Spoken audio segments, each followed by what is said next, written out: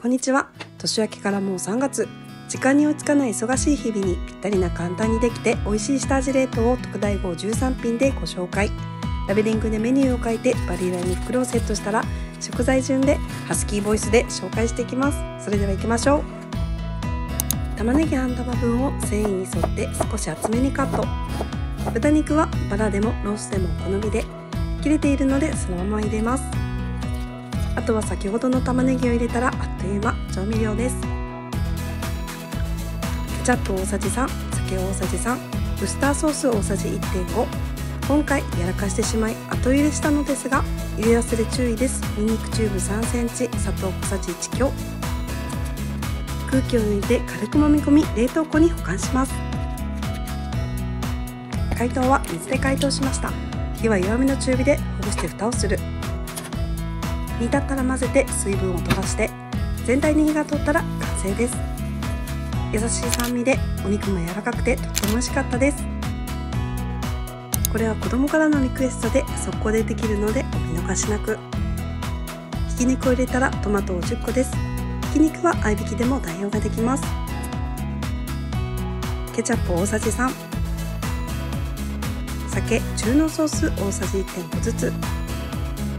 みりん大さじ2これで完成です。空気を抜いて冷凍庫へ保管していきます。解凍はレンジで解凍しました。火は弱めの中火で均等にしたら蓋をして半分に経ったら混ぜます。お好みでチーズを入れても美味しいので仕上がり前2分ぐらいでチーズをかけて出来上がりです。ご飯にかけても美味しいです。プルコギは定番なんですがすき焼きと焼肉の間の味のレシピです。玉ねぎを0 5センチサイズにカットしたらピーマン45個を縦に切ります。牛肉は細切れ切れているものでそのまま入れていきます。カットした玉ねぎとピーマンを詰めるだけ。ちなみにピーマンとパプリカはどちらかだけでも OK です。焼肉のタレはエバラの甘口です。大さじ3と酒大さじ1.5醤油大さじ1.5砂糖大さじ1強。にんにくチューブ1センチ。白ごま大さじ1入れたら完成です。空気を抜いて冷凍庫へ保管していきます。解凍はレンジで解凍しました。火は弱めの中火で蓋をする。途中ほぐしながらお肉に火が通ったらもう完成です。息子が大好きな焼肉風プルコギ。一瞬でなくなりました。美味しかったです。キーマカレーはよく作るんですが今回は玉ねぎだけのバージョン。野菜を追加したい場合は人参やピーマンやナスなどがおすすめ。ひき肉とみじん切りした玉ねぎを入れたら調味料です。カレールー3つ我が家はバーモンド甘口です。ケチャップ大さじ1.5ウスターソース大さじ1.5醤油小さじ1生姜チューブ少々ニンニクチューブ2センチ。空気を抜いて冷凍庫へ保管していきます。解凍はレンジで解凍しました。火は弱めの中火で蓋をします。途中混ぜてから 120ml のお水を入れて水分量が少なく煮立ったら完成です。安定的でとっても美味しかったです。パスタソースを作る時のレシピをメインのおかずにしました。玉ねぎ半分をブンブンチョッパーでみじん切りにしたら鶏肉を1.5枚分一口サイズの大きさにカットしていく。もも肉ですがヘルシーな胸肉に変えても OK です。カットしたら鶏肉を詰める。先ほどみじん切りにした玉ねぎも加えてブロッコリーを詰める。45個入れたらあとは調味料です。トマト缶半分酒とみりん大さじ1ずつ。醤油小さじ1コンソメ顆粒大さじ1砂糖小さじ1.5これで完成です。空気を抜いて冷凍庫へ保管します。解凍プレートで解凍しました。火は弱めの中火で蓋をする。大きめの肉を箸で肉汁を押し出して透明になったら出来上がりです。リクエストでチーズをトッピングしました。美味しかったです。小松菜を洗って水気を切って3、4センチのサイズにカットしていく。鶏肉は一口サイズにカットしたら詰めていきます。鶏肉と小松菜も一緒に詰めたらあとは調味料です。酒大さじ2.5醤油小さじ1オイスターソース大さじ2砂糖小さじ1ごま油小さじ1これで完成です。空気を抜いて冷凍庫へ保管していきます。解凍は水で解凍しました。火は弱めの中火で蓋をする。ほぐしながら鶏肉に火が通ったら完成。タレの香りがよくってとっても美味しかったです。砂肝って安くて美味しいから大好物。食感を良くするため両端を切り下処理をしたら袋に詰めます。余裕があれば切り込みを入れてください。醤油大さじ1強みりん小さじ2酒小さじ1にんにくチューブ1、2センチ。これで完成です。空気を抜いて冷凍庫に保管します。解凍は水で解凍しました。いつもは軽く水を切って片栗粉を入れるんですが卵黄を入れると衣が美味しくなるので余裕がある人はお試しください。小麦粉は目安ですが片栗粉大さじ3ずつ入れて混ぜる。弱めの中火で170度ぐらいで揚げてひっくり返して。きつね色になったら完成です。2パック速攻でなくなりました。食べ過ぎ注意です。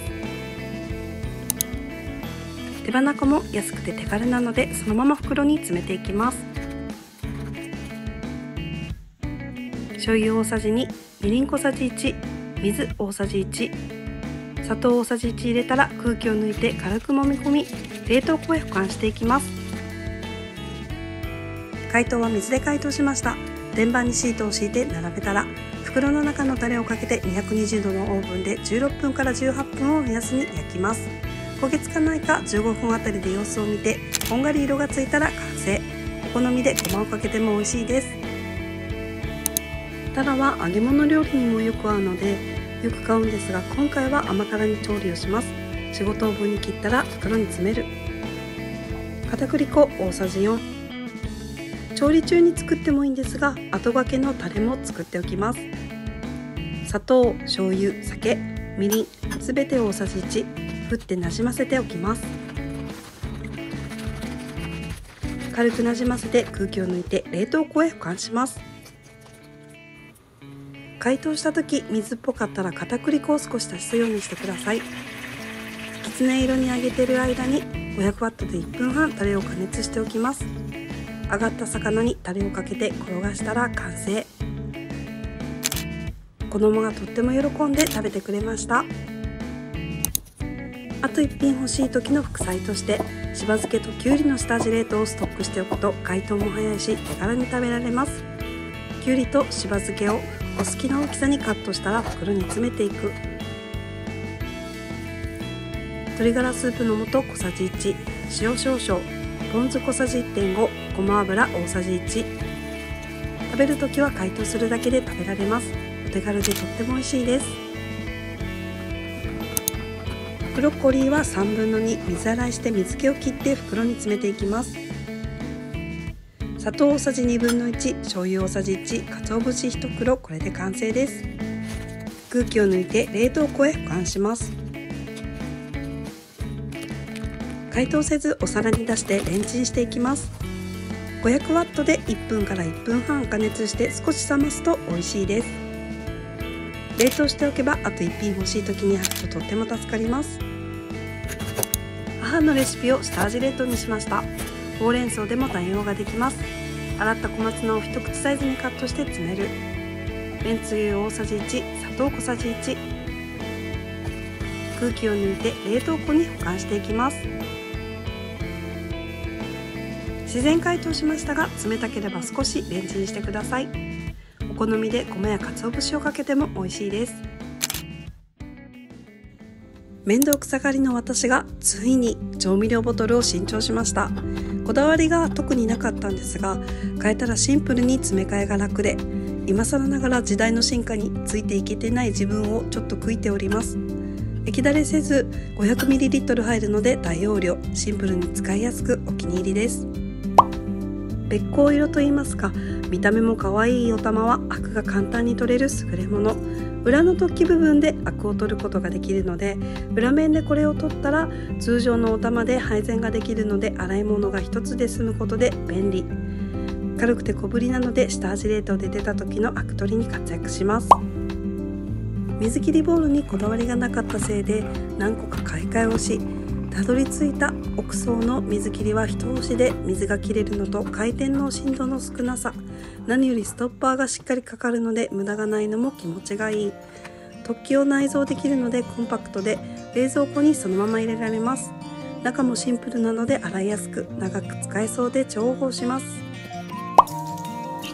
サチスプーンは下味冷凍に使うのでマナーの新商品を使ったレビュー。軽くて持ちやすいのとスプーンの内側に調味料や砂糖などがくっつきにくい作りになっているのでとっても使いやすかったです。